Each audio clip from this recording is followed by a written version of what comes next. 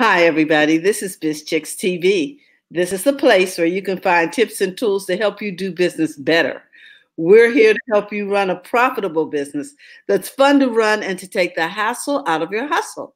And today is Money Mindset Day with Coach Caren Fern, all the way from Toronto, Canada. I'm Tara Lena from California Cover Ups, and I want to give a big shout out to my partner, Miss Francine Gregory, real estate entrepreneur and tech diva, who is producing this show for us in the background. So I want to welcome everybody. I'd like you to sit back, relax, get a pencil and pen, because Coach Caren is going to share some nuggets with us to help us get our business mind together. How you doing this morning, Coach? I'm doing fabulous. happy Wednesday. oh, happy Winning Wednesday to whoever joined us live and our replay show. Well, we are just excited to hear what you have for us today. So, what are we talking about today, Coach? So, today we're talking about starting over or refresh. And we're going to look at phase one in that because last month, if you didn't join us, you want to go look at those um, videos on the Chicks group. Okay. And we really talk about really honing in on what you know and what you don't know and learning it. And we want to have no blame and no shame happening. So we want you to start over fresh, drop all the garbage behind, anything that was weighing you down. And let's look at the second half of the year and bring us to this great place. So when 2020 hit, you'll be feeling really good. You're going in great. January is a really hard month, okay? And mm-hmm. most people feel really bad. But if you did all the work, you're not too worried in January. And let's say you have a program you want to, you know, work on, you can advertise it for February. But you have enough. Here's the other thing: I want to have enough income to move you over to the new year. That, that's my goal. So if you take this other second half really seriously and work, you work, you you will see results. And today we're talking about phase one. Phase one of a program that I'll have coming out called the four-hour workday. Because mm-hmm. I really want to showcase to you that you don't need to spend 14 to 16 hours per day running the show. Now, initially you'll spend quite a few hours, but our job is to focus and really dissect to see where our time is spent, both personal and in our businesses, so that we can bring it down to that. okay, to bring it down to this number. Listen, when you first do it, you're going to want to figure out what else are you're supposed to be doing because it's only four hours.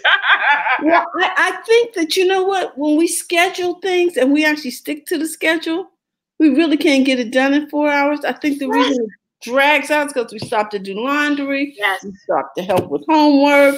We're cooking, which and it just goes on and on. At the end of the day, we haven't done what we could have done in those four hours, right? Exactly. Exactly. exactly. So I want you to pay attention. I want you to focus. And the number one rule that I have for you, if nothing more, is to stop self sabotaging because we're all really geniuses at it. we can do it like nobody's business, okay? And we can find the excuse that suit what we're doing easily. We pull those tricks out of our hats like really easily. And I want you to just stop it because before anybody can do anything to you, you have done it to yourself. And I want you to not do it. I want you to not do it. So number one is really self stop the self sabotaging.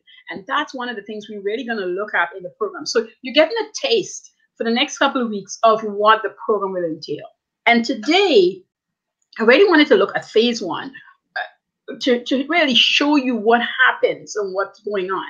And when I say self sabotage, I really mean what are you doing with yourself? Case in point, if your program is to get up, if your schedule, your consistency, accountability you're supposed to be doing is to rise early in the morning and you went to bed late, you are not getting up early in the morning. Now, I know, and people have told me I can wake up anytime, even if I went to bed at one, I can still get up at five. It doesn't bother me. Oh, today it might not, but by the end of the week it will, because your body will just be tired. It will be tired, and you can't function. And so you have to have a good night's rest. And here's what's going to happen your mind is going to tell you that it's not important. And you have to rebuttal and say, yes, it is. Eating right, exercising, and rest is the three most important things to running my business properly, consistently, so I can bring money and I can put them in my pocket. Profits, I'm talking about, my pay, so I can run my personal life, so I can elevate my business life. So those are the things you really want to pay attention to. And those, those are some of the things we're going to be covering. And we're going to work through them. We're going to go through nighttime routine. Why would I want to teach that in a program? Because it's important. If you take showers, you take a shower. If you take baths, you take your bath. And then you get a cup of tea if if tea soothes you, if not a glass of milk or a cup of glass of water. And you read a boring book, nothing that is exciting nothing that's going to make you want to be inquisitive enough to get up and go research or write anything. No, a boring book or just quiet music or meditation or prayers, whatever it is that works for you, but something that brings you down. It's like if you're exercising, you stretch first and then you do your workout and then you stretch again. You bring down your heart rate. And that's what you're really doing. You're getting yourself calm. Now, when you first try this, it's going to be hard. I am not here to lie to you. I'm very plain and straightforward. It's going to be hard, but you're going to do it hard until you get to the place where it's easy. And you're going to have to do it. Just give me seven days of understanding the process and then doing it. And even if you're feeling resistant to it, you're going to fight through the resistance. Now, if you have children, things are going to happen. If you have a husband, things are going to happen. If you got friends that call upon you, yes, they're going to call upon you. Your job is to set everything in place and really have answers for them. Kids, we're going to bed earlier tonight, okay? If you need anything, here's a glass of water. That's all you can have you can't call out to mommy. If it's really young kids, if you just have had a baby, it's a different scenario, but you're still gonna find ways. And I'll tell you because I'm um, one of my businesses was to teach people how to um, train their kids from the time they come home from the hospital. I would work with parents until the kids are three months to four months. Okay. And I'll set programs for the people so that they can have good rest their partner and them could really look after their kids and they don't feel haggard throughout the day. Yes, that was something I used to do and I charged good money for it. and people pay me for it because mm-hmm. they knew how good it was. It was a word of mouth business, and that was it. A friend recommended me, and I was never out of business. I just closed it off, I think was last year. And this year, people were still pounding me down and saying, I can't believe you're closing the program. Why would you do that? because I'm focusing on other things right now. But you got to program yourself. You got to be consistent and you really have to set answers. Your mind will tell you all that you can do. And when it's not working, it'll find people that will come and tell you what you can do or tell you you're trying to do too quickly. That's not what we're doing here.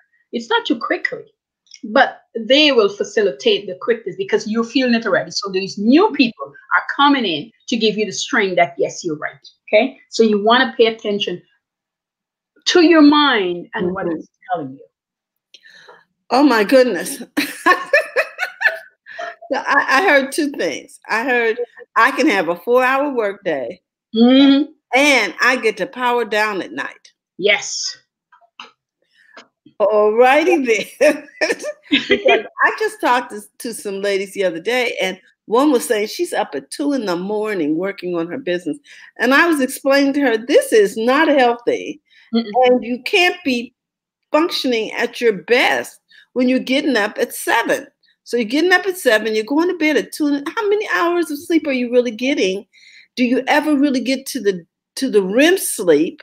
You know, when your body gets a chance to regenerate its cells, because that's exactly. when cell regeneration occurs. Exactly. So exactly. it's not sustainable. It's just not sustainable. My daughter had to go to a student clinic, clinic, and I had to uh, for a week, and then for another four days. So I had a really chance to sit at the desk with the with the technicians and watch what happened when we sleep. I mean, you know, some experiences just brings you closer to understanding things. It was a joy to it was scary to me to see certain things, and then it was a joy once the technician explained all the different realm and what you need and why it's important and what it does to the body if it doesn't get it. So people rest is so important. It is so important. Yeah, And I think people think rest is a waste of time. Yeah. Can you speak to that? Yeah.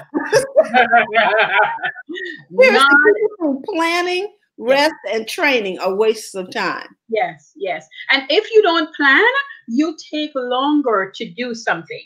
If you don't rest, you don't get that renewed energy to focus focus is a big problem to focus so that you can do something training oh my gosh you want to train so that you know what to do you put an inexperienced cleaner in a room and they'll take an hour you put a trained cleaner in and she will take 20 minutes because she's well trained that's thank you so much because people really do not understand the value. Now, if we take that 40 minutes and we break it down into dollars and cents, that meant they could do three rooms in the time it takes them to do one.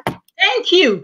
Thank you. Thank you. you understand what I'm saying? And I think we just really have to when we're when we're talking to people about um, signing up for training or taking training or being participating in training, we really should break it down in dollars and cents so that they understand the value. Exactly. Okay, so Terry just bring it up, so I'm to talk right into dollars and cents about it. You know, imagine you are charging $35 an hour or $60 an hour for a Pacific something, whatever that something is. And you came in and you give an estimate. And that's the reason why, even though I start off teaching people how to make money by the hour, I rarely put people into projects. I rather projects. Same with this program. This program is going to teach you how to block time off versus by the hour. So you're going to do a chunk of thing in a certain time frame with tiny breaks in between so you can actually see it done. So if you were part of your stuff was doing a chapter in a book, you'd be writing that chapter in the book. And for that chunk of time, would be the chapter in the book, maybe a workbook and whatever. Okay, I'll get back to that later. All right. So let's talk about dollars and cents here. If you, and we can use my cleaning business as a for instance, if I came to a house and I said, you know, to clean this house is $140, and you start checking yourself, it's four hours to clean the house, right? It is four hours to clean the house, but if an experienced cleaner come in, they'll clean the house in two and a half hours.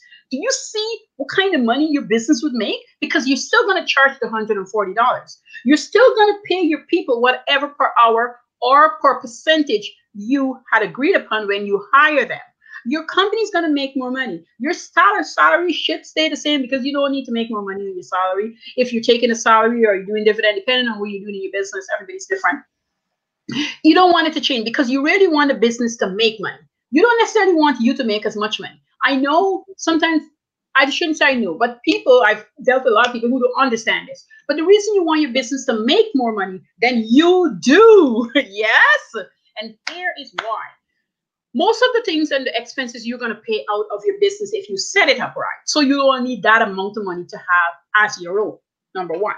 Number two, when you go to do other things outside of running this business nine to five or five days a week, your in your business going to showcase that it's making enough money a in case you want to sell it b if you want to start investing in property or other businesses you want to have this for that purposes you don't want to only think short term we're back to what terry asked about the planning you know, the training and knowing these things that you need to know. So you see all of a sudden that if a room was going to take $35 for the room and you finish it in 20 minutes, I want you to just do the math right now and understand how much it really costs. This is not you trying to rob the the um the client or anything. No, it's you running your business efficiently because mm-hmm. you pay for staff, you are paying for insurance, at least we have to. You're paying for the training that you give the staff initially, and just the general running of the business. Where does that money come from?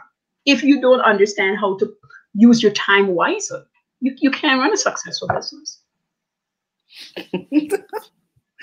oh my goodness. Thank you so much for that. I mean, people just need to understand that yeah. they're saving money when they invest in training and in being focused. Yes. Yes. This time around, when I hire people, oh I made I say, I want to do it. This time when I hire people, they have to take a cleaning class first. It's a free class. They have to take a cleaning class. And once they're trained, then they get employed. Now, if they want to move up the ranks, they have to pay. And the reason I'm allowing them to pay because it's their education, because it show me they want to grow. That money's going to come back to them, but it's the initiative, it's the movement. And this is from experience. And you have to learn as you grow your business. You can't stand still. If you're making these earrings, if all you did was make these earrings you haven't learned what you need to do from this, you need to get out of the earring business. You need to make the earrings. You need to get a manufacturer who's going to eventually make the earrings. Then you need to find a manufacturer where you're going to manufacture your stones for your earring. You're cutting costs all the while so your business could be more profitable. You're supposed to grow this way. Mm-hmm. All right. So I went off a little bit, but when you get me in the money realm, I really go off. and we're not there yet. We're at phase one and we're talking about self sabotage. We're mm-hmm. talking right now today about the mind and the things we do to ourselves that let us not go forward. So if you didn't cool down in the night, you're not doing great in the day. Okay. So that's a form of self sabotage. That's a form of self sabotage. Okay, gotcha. Right. And if you sit down and you said that I was going to write a blog and it's going to take me half an hour, you're supposed to come to the com- computer with the research done already so you can actually write the blog. You're not coming for half an hour, chunk of time with going and research and coming back and writing. It's not going to be done in half an hour. The blog is not going to get done. You're going to put it off. By Wednesday, you're still writing the same blog because you have given yourself permission that is just once a week I'm writing the blog. So why do I need to finish it on Monday? Because you said so. That's why. You said so. So then part of the planning should include time for research. Thank you. Mm, that makes sense. You have to. Like part of this program, you're going to learn how to batch your graphics for your blog. You're going to learn how to batch your content, how to match your content with your graphic, how you're going to take this content and how many places you're going to use it how you're going to tweak it, take off, put on for the different places. And why are you doing it? Not because you randomly want to post something. Now, given if you went out, you had a good time, you see some flowers, you talk to a few people, you went to a show, great, post it. But you should be able to take some element from that and use it for your business and tie it back together. That's how, first of all, you build your content. And second, how you grow the people that follow you so that you can turn this into what it is you want it to be. You have to. This is important stuff. This is all the stuff before you run an ad. This is the stuff before you go pay money for stuff. This is your time that you need to build into your business so you can really watch it start off and grow. Really and truly, that's why we're starting over and we're refreshing. So if you didn't do it well, if you didn't understand what you needed to do, you're coming in and you're getting it done. We're not only looking at your avatar and who is your, you know, your soul client. We're really working on you because when you work on you, you're gonna find your soul client. She's gonna be attracted to you because she is you when you're starting. she is you. She's the you now that's going to evolve into the high you that you really want to be. You're really selling her the idea of the person you see yourself at. That's what you're selling every person that I've ever bought from me had seen me where I was going. I wasn't there yet, but they saw me there already. They saw me there, and I had to live up to that expectation. And I was happy that I had to live up to that expectation. So everything I did, wouldn't believe it, everything I did from a tiny apartment, every single thing I did, it was to the highest esteem the highest. I never did anything mediocre. It was really, I put my blood, sweat, and tear in it. And if I made a mistake, I correct, self correct until it was great. And because I was working at this high place, there's all these people who came in and celebrate what I was offering and just wanting to give me, gift me things, gift me things. And that's you'll find start happening to you. People want to come and gift you things when you're working to your highest standard. And that's also the people you attract to sell to. All right. Any questions? You guys are we're good so far. Oh.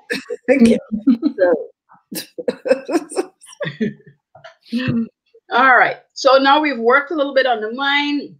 You understand what you're doing there. Let's talk a little bit. Uh, take a look at the instant boost for you and mm. boosting your confidence, right? Because we talk about a lot of things that you have to adjust to. It's going to be uncomfortable. You might not want to do it. Let's talk about how we get you boosted by making your first sale.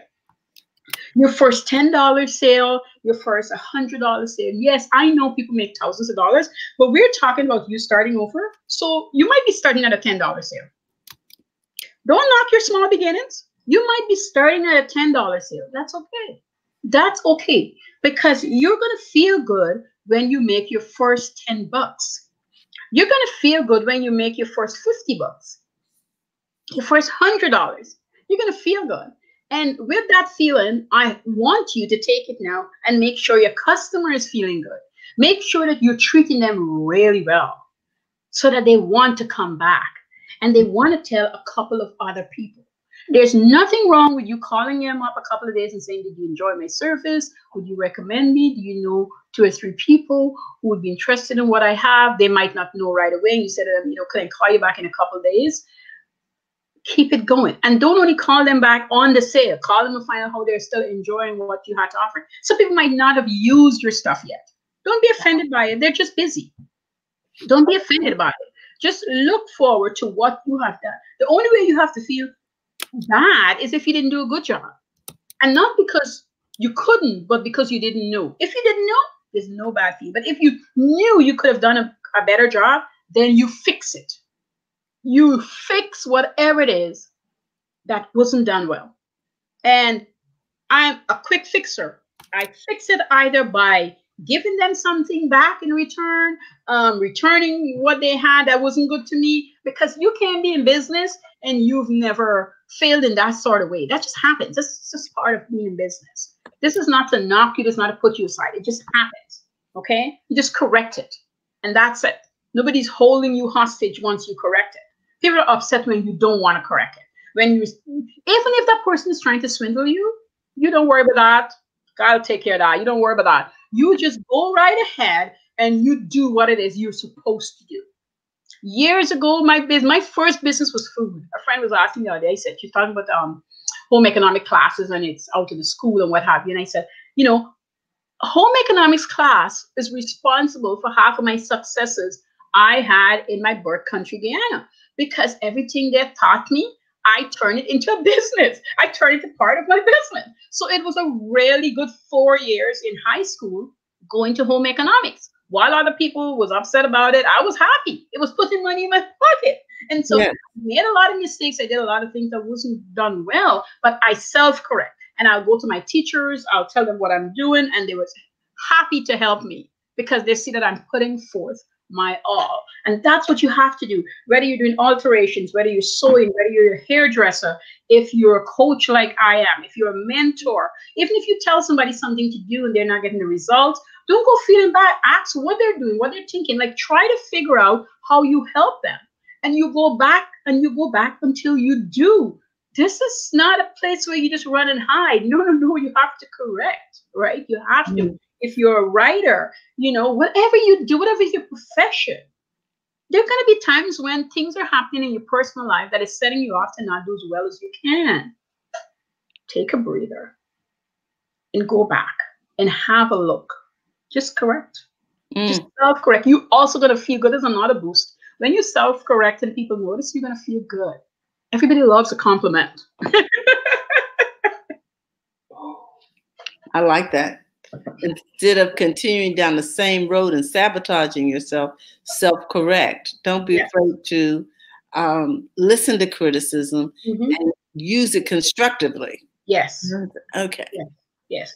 You have to. You have to. I used to do when I worked one. I used to do um, cross stitch, and as I told you guys, I worked for six sixty eight an hour, six dollars and my colleagues were making anywhere from 12 to 17, $18 an hour in the same space. I was new. Okay. and that's what I was starting with. And I was making $25 an hour within a couple of months because I was like, what is my side gig? What's my side hustle? Okay. And I was introducing free food and everybody liked it. And then I would take an order and then I would sell my food during the week. And I also had bought a cross stitch um, kit. And I, mm-hmm. I, didn't know to do cross, I know to do embroidery, hand embroidery, but not cross stitch. And I taught myself. And in my spare time, people see me doing it. They loved it. And I started getting ordered. The first order was $15.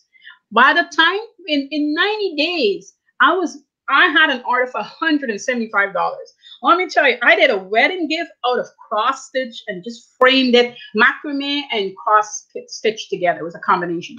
And the girl said, "Give me, do whatever you need to do because it's a wedding gift and I want it to be fabulous." And I did. And I charged her $175 and she paid it. And can I tell you how many clients I get after that? Because people were just crazy stunned of what I can do with macrame in cross stitch. And it was a gift like no other. So it, yes, it was a keepsake. Yes. So I give that gift to her. I think in less than two weeks, she was like, "Kind I've got 12 orders for you. Everybody that saw the gift want, if not that big, they wanted something. I was so yeah. busy. Between that and food, I was making some serious coins. Okay. But what I did was I learned See, we're going back into training. I taught myself what to do. I went with the pattern they gave me, and then I came up with my own as I go along. And if I made a mistake, I wasn't afraid to go back in, take it apart, take my time, and actually work it. I mean, back to front, everything was so neat that you can't believe that somebody sit down with their hand. So nobody's questioning because I took my time. Mm-hmm. I took my time and I get it done. So the first set of pieces that I sold, didn't really make me any big of a profit, probably like a two, five bucks. I think about $10. It didn't make me big profit. But what I did after that brought me in the big profits. You got to really allow small beginnings. You just have to. My book, Little Dribbles, will tell you about that. You got to allow small beginnings because that is what's going to lead you into anything big. If you start big, you're going to lose a lot fast. Mm-hmm, mm-hmm. You really, our ourselves as human beings, we can stand to lose little dribbles, but anything big, it really sink us. You gotta be. I mean, anybody who can withstand losing a lot has lost little. Anybody who can withstand things now has understand hard times, have been there. Mm-hmm. Some people want to stay there, but if you're willing to grow, you have to have lost. If you're willing to do well, you're gonna lose. Things are gonna happen to you. Bad things are gonna happen to you. Yes, they must.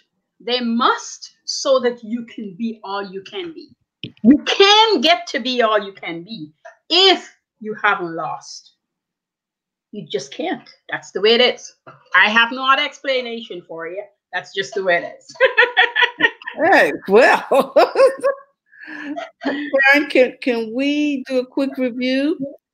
Yes. So we we had three things going here. Yes. So today we spoke on starting over or a refresh, and we spoke on day one, on phase one of my program, the Four Hour Work Week.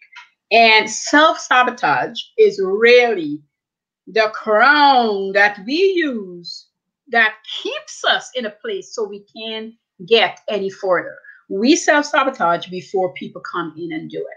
And we do it through our mind, allowing our mind to dictate what happens, really and truly. And it leads us down a rabbit hole lots of times so we don't get to where we want to get to. Okay. We don't get to where we want to get to. And number three was just me showing you an instant boost, how you can build confidence by selling something right away so that you know you can truly, truly do it.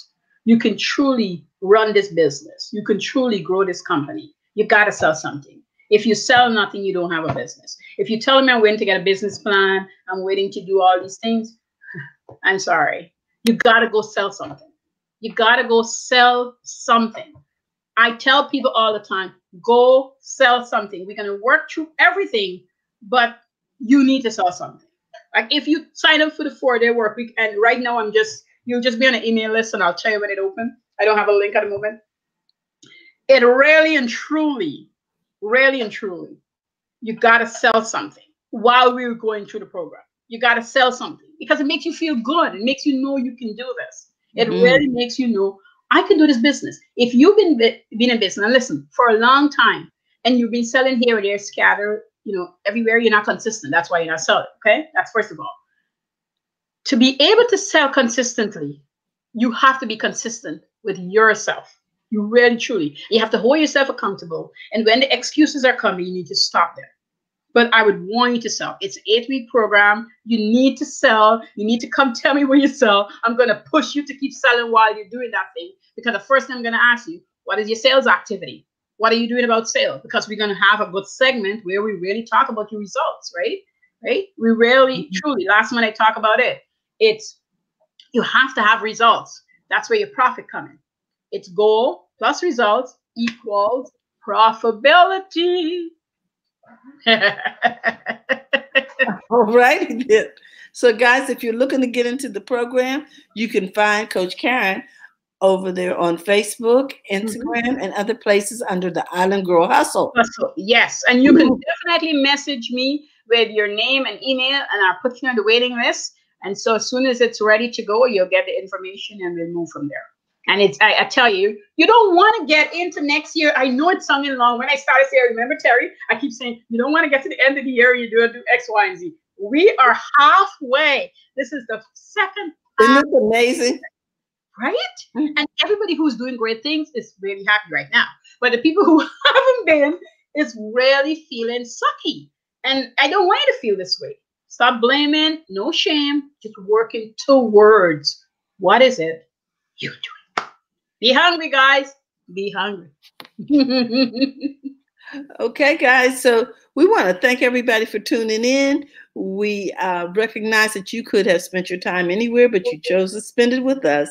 So we want to thank you. We want to remind you that tomorrow, even though it's the 4th of July, we will be talking about happy, healthy habits with Robin Shimizu. Uh, someone did ask, will we be here for the 4th of July? No. answer is yes, Caren. Uh, we will be here. so we want to give everybody a shout out who's enjoying the holiday. It's my understanding I should say Happy Canada Day.